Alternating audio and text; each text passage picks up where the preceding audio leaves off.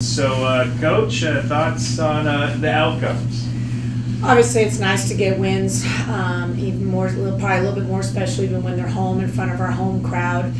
Uh, but most importantly, I- I'm just I was pleased to see the progress that we made collectively as a team, in particular on the defensive end, to pull out these two wins. You guys are uh, getting that extra time to kind of focus on some things in practice, was the majority of it the, defensive part?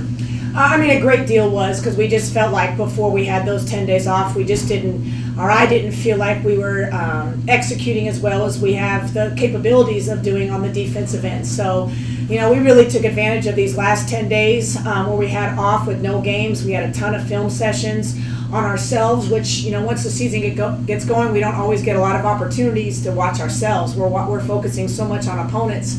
Uh, however, again, we utilized our time. We spent a lot of time in the gym and really put a lot of emphasis on our defensive end, which I thought showed these last two games.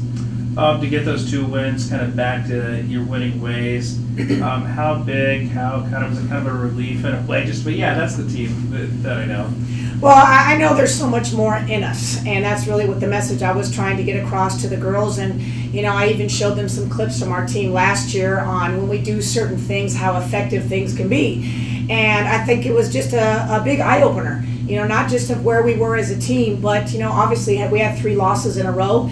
And I think it was just a time to really reflect on where we were as a team and, and really what needs to be done for us to progress. And I think we accomplished that. We certainly have a long ways to go still, but we at least made some progress over that time. Hit the road this week, uh, East Bay Thursday night. Uh, what have you seen from them this season? Uh, East Bay, you know, we're very familiar with them. We, we know what to expect. They kind of have two different looks offensively, meaning uh, they may play two bigs at one time. They may play a big and four uh, guards at one time. And, you know, we've seen so many different styles. We, again, we're putting a lot of emphasis on what we need to do and what our defensive game plan is going to be going into the game. We just got out of practice now. We're just putting our defensive package together. We have one more practice, obviously, to prepare. And we, we just got to build off of the energy and the intensity that we had in particular in that Dominguez game on Saturday. Um, and then also, uh, you guys will stay on the road on Saturday for, for Monterey. What have you What have you seen on tape uh, with, them? I haven't watched anything on Monterey Bay to be honest with you, uh, outside of you know maybe them playing our opponents. But we really do focus on one game at a time. We're we're not a program that you know prepares for both games at the same time. So right now it's just solely uh, East Bay, and we will start focusing on Monterey come Friday morning. Uh, such a competitive uh, conference in the CC2A to have a member, uh, you know, selected as the, uh, you know, uh, Basketball Player of the Week.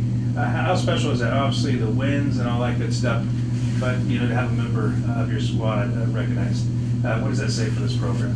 Well, obviously, it's great for Issa individually, and, and it's great for our program. And I, I just thought, you know, Issa really showed some maturity and just, you know, her experience and, and being a veteran um, along with Tyra Turner. I thought they both did really a tremendous job of just managing the game and leading the team into, uh, you know, these two wins this past weekend. But Issa played tremendous. And at one of the games, you know, she was one for seven at halftime. At no time did she slack off on the defensive end and just really kept her mind right and kept shooting the ball. And then she got hot.